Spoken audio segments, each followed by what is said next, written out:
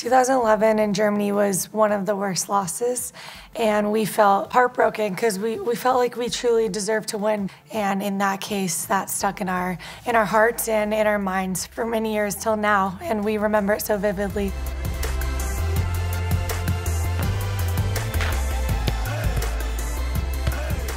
Now we have motivation to get back to that moment and when Canada comes around, we want to be ready for that and we want to be fully prepared and mentally ready for those moments. In partnership with Tampax Pearl Active, I really want girls everywhere to have the confidence, comfort, and protection to run, play, and give it their all any day of the month.